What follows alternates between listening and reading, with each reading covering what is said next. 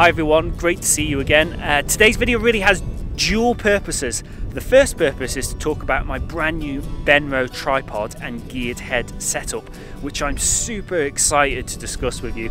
I haven't yet used it. This is the first time I'm going to take it out in the field, so I was really excited to see how it actually performs. And the second purpose for today's video is just behind me down in this valley here. There's a really kind of obscure, hidden little footbridge that literally sits in the middle of nowhere. And I'm really intrigued by it. I've never seen any proper like landscape photography images taken of this bridge. Uh, I don't know anyone who's visited there. I've found no clear directions on how to get there. All I know is the bridge exists and it's somewhere down this direction. So today's video is going to be a little bit of exploration to see if I can find this bridge and see whether it actually holds any photographic potential. Um, so yeah, I really don't know what to expect to be honest. It's kind of a step into the unknown, both tripod wise and uh, terrain wise. So I'm going to head on down that way and uh, let's see what we uh, stumble across.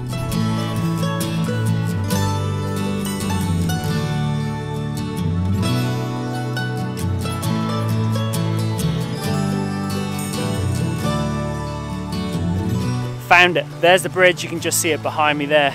Quite small, but what a remote location this is. Just, it's just in the absolute middle of nowhere. There's no footpaths. There's no nothing here. Just crazy. So I'll take you, take you down here. Um, oh, it's always reassuring, isn't it, when you go to a brand new location and you're greeted by the carcass of an animal. Yeah, really, really settles those nerves, doesn't it, about coming out into the wilderness by yourself. But yeah, look at this bridge, absolutely amazing. Looks really, really old, doesn't it? Beautiful. So I'm gonna have a little wander around this bridge, see if I can find any compositions which, to be honest, looks pretty limited the scope for them. I think it's pretty much either this side or that side.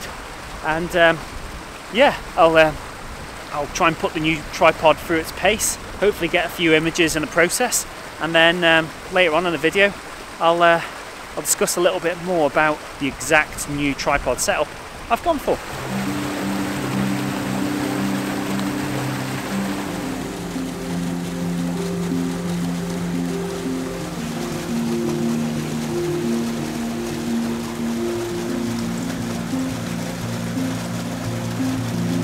Okay, I've found my composition.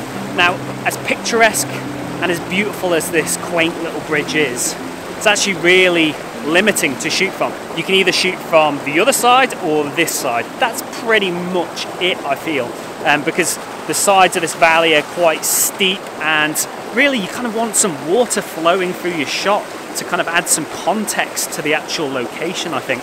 Um, I tried shooting on the other side and it just didn't work. The compositions didn't really hang together. But this side works a lot, lot better. But it's just a question of how close you get to the bridge. If you get too far away from it, then the bridge kind of felt insignificant and quite small. And then you start to get vegetation kind of protruding into your shot, which was quite distracting. So for me, I needed to get quite close to it. And by getting close to it and shooting kind of in a portrait composition, it allows me to get the full arch of the bridge here. A little bit of sky above, not too much. But importantly, you can see this little waterfall that kind of flows right in between the bridge. It allows me to capture that. And I think as a portrait composition, it works quite nicely, I think. The main challenge that I've got here though is light. You can see the sun is kind of up in this direction, so I'm not shooting directly into the sun, but it is kind of coming in from the side, which is kind of diminishing the contrast in the scene and causing some lens flaring issues. So it's not ideal, but kind of really, because of the geography of the area, you're kind of really restricted. I mean, I'm shooting south, kind of south here, pretty much. So this side of the bridge here is never going to be illuminated by light. I'm, it's never going to be perfectly lit. I'm always going to be shooting in or towards the sun um, pretty much most of the day. And because the sides of the valley here are so steep, this bottom of the valley here, pretty much stays in shade for the majority of the day. I mean, it's about 11 o'clock, 11 a.m. now, and the sun is only just starting to reach the bottom of the valley here. Um, so you can see that you're never going to have great lighting on this bridge, but I don't see it too much as a problem. If anything, I quite like that I'm shooting this with that kind of shade and overcast at the moment, that overcast kind of even light. I think it works quite nicely. I think if we actually had harsh light coming in here, I think it would totally destroy this scene, to be honest. So the key to making this shot work is actually my new tripod. Nice tie in there. The the length of these legs on this new tripod means that I can actually fully extend them down into the plunge pool of this waterfall here and essentially position the tripod out over the middle of the river. You can see the third leg is at a low angle coming back onto the bank to anchor it, but it allows me to get the camera out to a location that I could not get it to. That is too deep for me to wade into. It will go way over my welly. So quite quite pleased already. The, the, the new tripod's coming into its own because my previous tripod, the legs are nowhere near as long as this, so this shot probably wouldn't have been quite as easy or indeed possible with my older tripod. So quite pleased already. It's a very precarious shot. Uh, I had to really make sure the tripod was fully anchored before committing the camera to it, but it's actually quite secure. In terms of settings for this shot, it's actually relatively straightforward. I'm shooting at f11, um, focusing in for the bridge about here, which is giving me pretty good depth of field through there. I don't think I need to focus stack it. Uh, I've got ISO 64. Oh, we've got some light coming here now. Uh, I'm shooting at ISO 64, about half a second exposure, so we can get some movement in the water down here, but retain a bit of detail in it. And I'm shooting at 18 mil, so I can get the full arch of the bridge and the waterfall below with a bit of sky at the top. Um, I've also got a circular polarizer on just to take a bit of the glare off these rocks just um, around the actual side of the river. And I'm also, just switching my arm, it's quite tiring holding a camera for that length of time. Um, I'm also shooting with a free stop underexposure bracket. Quite extreme, I know, but the dynamic range here is extreme. I mean, the dark areas, the shade and shadow beneath the bridge are quite extreme, and then up here, because the sun is close to this area, it's very, very bright up there.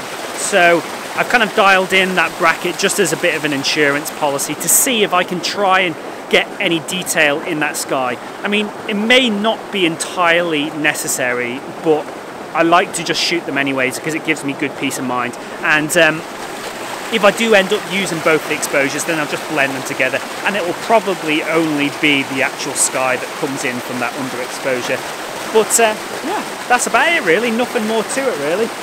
Quite pleased with this actually because when I first arrived here, I really didn't think I was going to get any images, but this image isn't too bad and dare I say, it might actually be the first sort of proper landscape photography image ever taken of this bridge because it's that remote and that off the radar for the majority of people.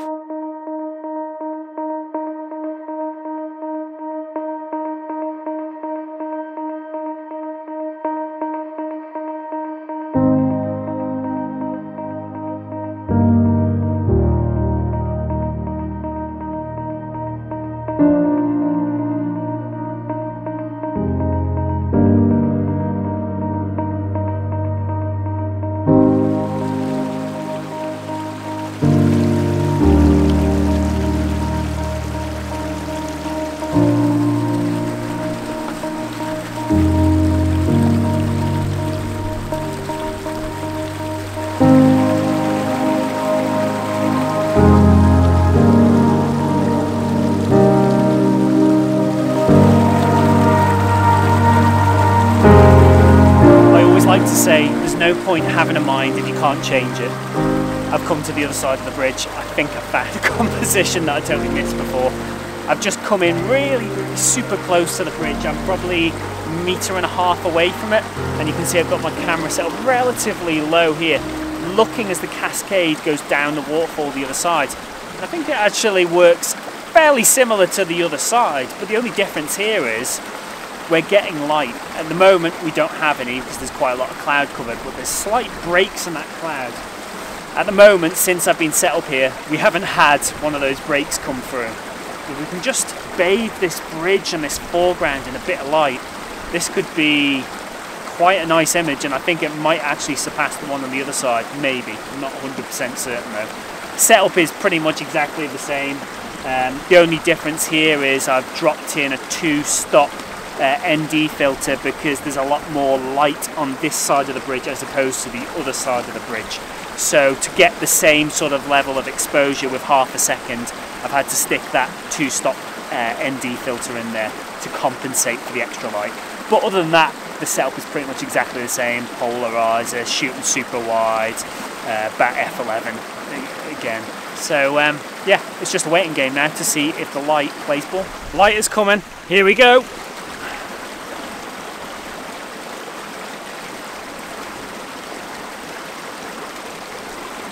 Boom! Got the shot. It looks so much better with light. It just makes all the difference. It makes the uh, the stonework and the bridge there just pop out. It looks fantastic.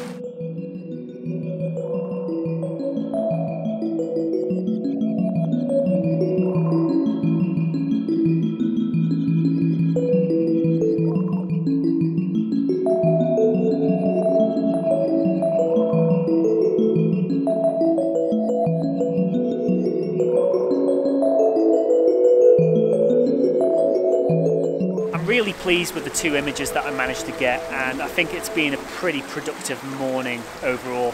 This bridge is absolutely fantastic. It may not be the most picturesque or in the most stunning location, but it's beautiful nonetheless. It's just got so much atmosphere and charm to it and I'm thoroughly happy that I decided to come here and find it because it, it just feels like a complete hidden gem to me it's uh, I haven't seen another soul all morning and I reckon I could camp here for a month and I probably wouldn't see another person other than sheep going by. It's just so unbelievably cut off and remote and hidden away. I kind of feel a little bit bad for even sharing its location because it's the kind of spot that if too many people walk over that bridge and stuff, it's it's probably going to perish. I mean, I don't know how old it is, but it looks pretty old. It's probably pushing 100 years, maybe even older than that. It's probably set up for herding animals across this river or shepherds, I would have guessed. But uh, yeah, absolutely stunning.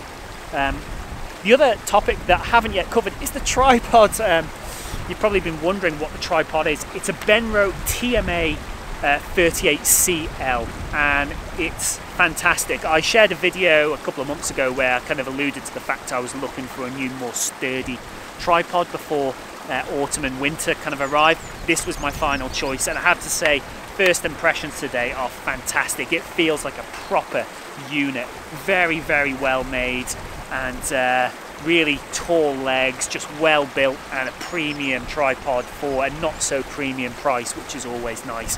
I'm not going to review it today though, I need to spend longer with it to give you any kind of real sort of reliable thoughts on it, but first impressions are exceptionally good. And probably the more important thing to talk about is actually the, um, the head choice. Now, I've been doing landscape photography probably for about 11, 12 years now, and I've used ball heads the entire time. But recently I've kind of become curious about geared heads, and I think the seed was planted in my head when I went to the Isle of Skye earlier this year. And I was with a mountain guide who used this exact gear head, and he swore by it, and my impressions of it were pretty good. So I kind of thought recently, you know what, I'm just going to take the plunge and try and use it. Give it a good six months, see how I find it. And um, I have to say, first impressions are it's fantastic. It's really well made. The uh, the actual model is the Benro GD3WH. If you're interested, it's uh, it seems really well made and it's just fantastic. I think in my head, it's going to make lining up composition so much more easier. Because on a ball head you're trying to line up all three sort of axes all at the same time and you can get sort of droopage sometimes. And in my experience I've found that it can be difficult to get compositions exactly spot on. But with this I my first impressions today are that this is going to be exceptionally accurate at dialing in those compositions I'm just going to have to get my head around how all the different dials and stuff uh, work and instinctively know my way around them so that I can shoot as quickly as I could with a ball head. And I think that's going to take um, probably a number of weeks to actually do, to actually get used to it. But yeah, first impressions are very good. Again, I'm not going to give you a review of this yet. I haven't used it for long enough. I don't know whether I've made a wise choice or not going for a geared head. I don't see many landscape photographers use them, but there could be a good reason for that, so perhaps I've made a mistake. But yeah, I'm going to give it a good few weeks and then I'll come back to you with a separate video, kind of focusing specifically on this, I think, because I think it's, uh, it's a topic well worth talking about. But um, yeah, that's about it for today. Thanks very much for watching. If you've got any thoughts on the images I captured or the location, pop them down below. And if you've got any experiences with this tripod or this geared head model from Benro or any geared heads, um, share them down below. I'd be really interested to hear your thoughts on those. And um, yeah, that's about it. Thanks very much for watching. And if you haven't yet subscribed, please click that button below to see more landscape photography adventures just like this. See you all soon.